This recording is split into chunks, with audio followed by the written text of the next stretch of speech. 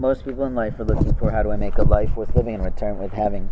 When a man is looking for his clothing, he's expecting to find that his clothes have not been urinated on by someone else.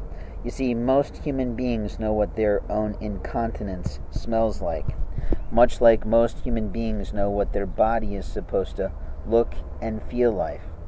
People in a police force that destroy American rights do so by the violence in their souls the vanity in their minds, and the manipulations they play at all the time. The favorite attitude is someone called, but you have to call the city office to find out who called, and that's a lie that they place. Most Americans have become incredibly intolerant of police officers is fairly true. They forget that they represent the city offices and the mayor's offices, much like other people do. What they also forget is at the end of the day, based on their shift and their responsibility to a judicial system, is that they actually represent at the very, very last moment of their day the president. So if a president has a policy, it's pretty fucking important that police officers follow it. But here's the problem a lot of hate crimes will go undocumented and unreported. And the reason that they go undocumented and unreported is because police officers systematically use their verbal, social, and social media networks to share illegally gotten information, immorally received information, and often stolen information that doesn't belong to them, in particularly in the area of privacy rights and medical rights. You see, we have an illness in America that people will often go into a hospital to try to take something or steal something. That is a black attack. That is a Hispanic attitude. That is something of white trash's concept of God, I guess. But the truth is, when I say these terms, it doesn't ingratiate you to me. It makes you mad at me, and I don't give a shit. Because if your life is participating in a hate crime, if you're driving up to someone and ask them, Do you want it or not? It's a rudeness. I never saw Christ walk up to anyone and say, Do you want me or not? What he did was lovingly rebuke people. What he did was say things that were appropriate, but he was Christ and you are not. Just because you're Christian doesn't mean you're not Wiccan, and just because you're Wiccan doesn't mean you're not Christian, but you may not claim that religion. And we don't claim the religion of Christianity anymore because when we do, people just go, oh God, get me out of here. Because people don't have a positive view of Christians anymore. We love our Christian authors. We love our Wiccan authors. We love anything that relates to God if we are a person who chooses the First Amendment in terms of freedom of religion. And that we have a choice and we have a right to pursue God any way we choose. We have the right to purchase any book we want. And yet, police officers in a prison will steal away a man who's reading about Wiccanism so that he can have a different understanding of the Lord's house. And they will steal his birth certificates, they will steal his documents, they will steal his clothing, they will steal all his beautiful Catholic purchased cards and they will do this. They will take his rings, they will take his metaphysical things, they will take his one of a kind items from his travels abroad, and they will do this in the name of what Lord? I don't know. Just to do it, just to be offensive, just to be in charge of things. And there'll be a matronly bitch dyke woman whose name is Sam, and she'll have his glasses on. His second pair of glasses that God said, buy those. And the reason he said buy those was so it could be provable that she did that in front of him. You see, in life, these people who are not high enough to be in the military, not in shape enough to be in any kind of marine ship, but want to carry a gun or want to be in power over people or just want to do so to get their heart on, they don't have anything going for themselves outside of their little sheriffdom. So what they like to play at and what they like to do is they like to tase people. As one little black girl came running through to say to another sheriff, "I got to tase somebody today." And you're sitting there listening as an educated professional person stuffed in a cell from a lying bitch courtesan that literally we're tired of this. If what was going on there had been videotaped or caught by a real live reporter going through there, it wouldn't be caught because they'd be on their best behaviors when the major walks through, right?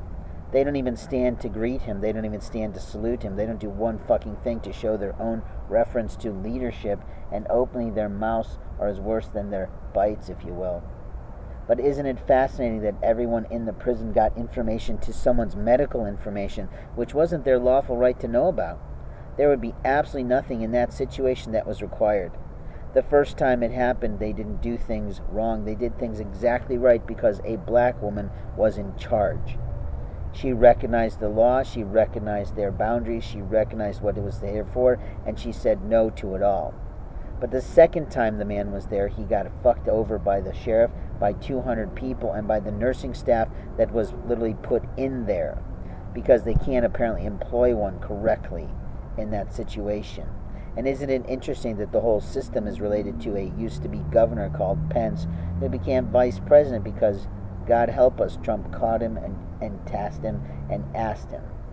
But as I travel through my story, are you still paying attention that people in a community will participate in what they feel is God's glory, but it's actually an abomination to God? Because anytime you put your hands in someone's pockets, anytime you put your hands on somebody's body, you better have fucking lawful consent. Because this is America, not some fucking third world country where we human traffic people at our descent. And if you participated in accosting someone with your belief of, I'm just going to drive up and force my money on him, you've failed yourself before the Lord. Because every human being has the right to say yes or no to something. And when you try to practice financial abuse of, I'm going to give this to him and then I'm going to take me something, that's a form of financial abuse. If you're a true person of the Lord's house, it's really straightforward what you should do to not look like a mouse or a louse you drive up if the Lord has inclined to you that you should help someone, and you do one of three things. You simply say, Hey, it looks like you might be in struggle today. Please have a meal on me. And you walk away after giving them some cash or a gift card you see if you're too cheap to do that, if you're too sullen to do want to do that because you don't trust the person that you're trying to help, meaning you're worried they'll use your cash to buy something for their addiction or something for their predilection or something else that maybe they might need, then you can provide them a can of protein, a can, provide them a can of iced tea or lemonade, but I'm talking about a motherfucking can. Because bottles can be tainted with bottles can be played with, and the fucking Mexicans and Hondurans and the shitbags from other countries know this, and Americans are too naive about it. If your bottle doesn't click when it opens, how do you prove that to a store? Sometimes in a good place like the Target campus, you can walk back immediately and say, I'm sorry, but somebody opened this on your staff or in your cleaning crew. But in life, we have to decide what kind of people we're going to be before Jesus because any day, anyhow, anyway, God will call your little bitch ass home. And when he does that, Lord Gabriel will stand there at the gate say, Okay, it's not about what Jesus did to get you here, it's about what you did to think that you belong here. So while we don't go to heaven by our works, we certainly get evaluated, assessed, and put in a place based on how we live our lives. And if you've been monkeying with someone's clothes so they become so tight they can't wear them, then you have destroyed your life with Satan's house. You'll be headed to Satan's house. And if you've destroyed a family during the late stages of a parent's life, then you destroyed yourself before God. It's like that marvelous scene in one of the Lord of the Rings where the king is seated there. He's all crusted over because a whispering worm that sits next to him, spewing hatred and it takes a real great wizard to walk in and break the curse to get him to stop hearing the shit he hears. Where a father hates his son, or a mother hates the one she's got, because siblings or outside people are spewing a lot. You see, Satan works through the mouths of people. Satan works through gossip. Satan works through people who come in to steal hearts and walk away as if it's a play at the end of the day. But the bitches of our retail community are participating in community policing, and that is illegal under every law of the United States with regard to stalking that leads to sexual assault, physical abuse, and molestations that are not your lawful right to induce. When police officers can't win for a day, they often whisper their way into other people's hearts, minds, and souls. And you're the stupid fuck who falls for it. It's how people in witness protection get killed because they've seen something, they've heard something, they know something, and then they get hit because the police officers who did it all are such dicks. They manipulate your matronly, old fashioned women to believe anything they say because they carry a badge and they've got their little flags with their blue lines or red lines on them today. That is actually an abuse of an American flag. I don't see other communities doing that. I see them making and painting their own flags, which is stupider than shit, because what a person does in the privacy of their home is not your fucking right one little bit. How a person chooses to choose their clothing is not your fucking right, you little motherfucking shitbag. So the next time you want to play with someone's clothes, go to get a doll like a child would. Go to the store, pretend you're 12, pick up a Barbie doll, and do your fucking thing. But don't you ever touch another human being like that because all it proves is that you're in the house of the Lord. Not at all. You're in the house of Satan, mauling someone's life, interfering with their wife. And let me tell you, Jesus Christ is not pleased because he picked her for him, not you, motherfucker.